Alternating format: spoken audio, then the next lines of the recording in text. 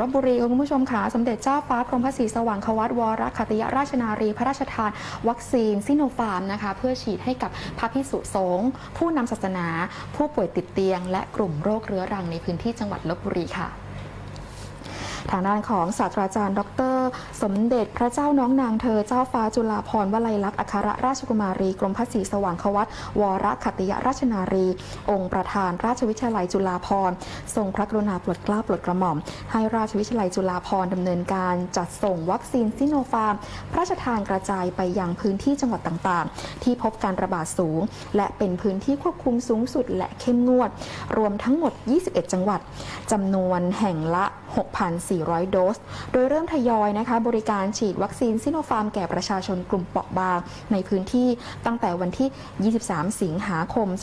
2564 เป็นต้นมาค่ะ ในส่วนของจังหวัดลบบุรีนะคะได้มีการกระจายไปในพื้นที่ครอบคลุมทั้ง 11 อำเภอ เพื่อมีการดำเนินการฉีดให้กับกลุ่มเป้าหมาย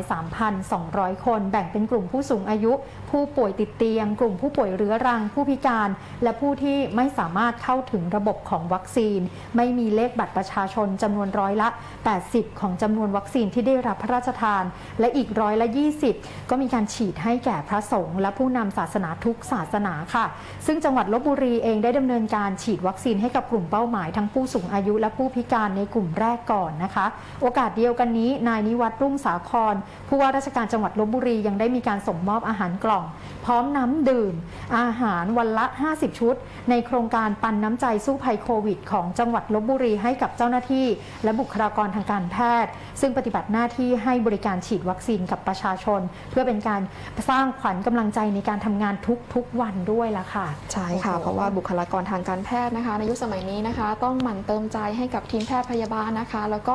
เวลาอ่านข่าวดิฉันจะบอกอยู่แล้วคุณหมอพยาบาลสู้ๆนะคะ